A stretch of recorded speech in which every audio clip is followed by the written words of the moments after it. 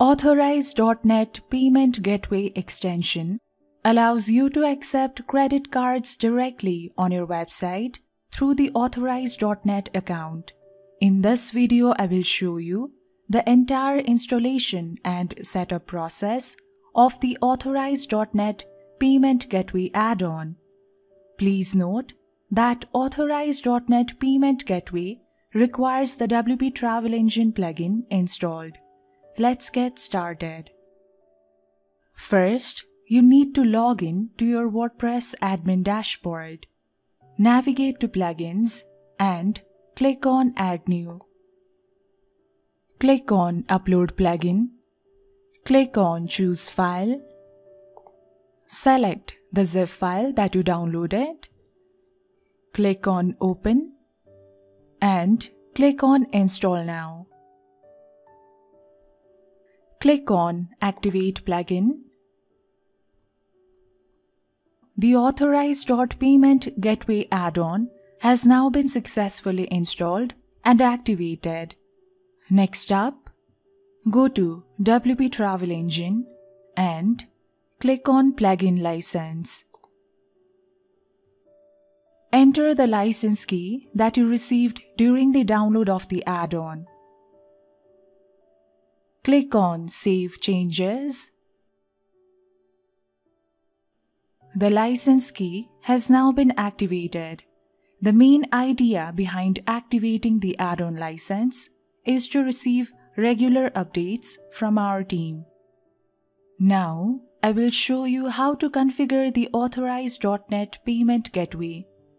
Again, from under WP Travel Engine, go to Settings, go to Payments, select Authorize.net Payment. Here, you are required to add an Authorize.net API login ID and an Authorize.net transaction key. I have already added the login ID as well as the transaction key for authorize.net. Now, after adding in the required requirements, you have to click on Save and Continue. Now go to Payment General Settings. From under Payment Gateways, make sure that you have selected Authorize.net. If you wish to make Authorize.net the default payment gateway, then you can do that from here. Now click on Save and Continue. Now let's go to our site in the front end. Now when a visitor tries to book a trip, let's try to book this trip as a visitor. Click on Continue and after adding the quantity, click on Proceed to Checkout. After filling in the checkout details, the visitor can easily select the Authorize.net payment method. They simply have to select the Authorize.net payment method. So let me fill up the details so that I can show you the difference. Now when a visitor clicks on the pay button, they will be able to make the payment via Authorize.net payment gateway very easily.